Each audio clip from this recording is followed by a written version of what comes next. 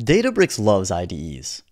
Our official VS Code extension is the first of many releases to deliver a first-class IDE experience for developers to build on Databricks. With this extension, you can run your code on Databricks without leaving the comfort of VS Code. To get started, we'll show how easy it is to run code on Databricks from VS Code and show the output in your IDE. All we have to do is select Run File on Databricks from the dropdown. The code will be sent over to your Databricks workspace and you'll see the results returned to your console. It's really that easy to get started. To dig in a little deeper, let's say that we have a notebook that we want to apply software engineering best practices to within VS Code.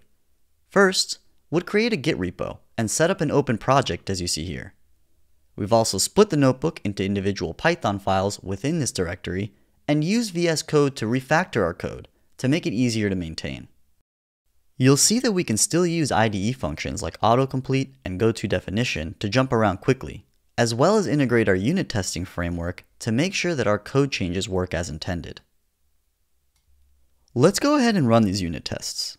Oh no, one failed. It looks like the function wasn't written correctly, but fortunately, with Copilot enabled, we get a suggested line of code that looks like it should fix our problem.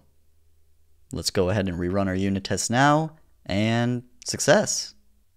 The only thing left to do, now that our code is refactored, tested, and ready to deploy, is send it off to Databricks so we can leverage all of the scale and performance of the Lakehouse without leaving the comfort of VS Code.